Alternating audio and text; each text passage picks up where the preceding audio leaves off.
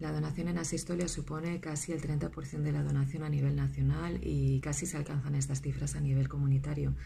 Lo que nos planteamos, sin, em, bueno, sin embargo, en este tipo de, trasplantes los resultados muchas veces son irregulares, por lo que nos planteamos eh, comparar cuál es nuestra experiencia con este tipo de injertos, eh, con nuestra experiencia eh, con el trasplante de donantes en muerte encefálica con criterios expandidos y os animamos a, a escuchar nuestros resultados.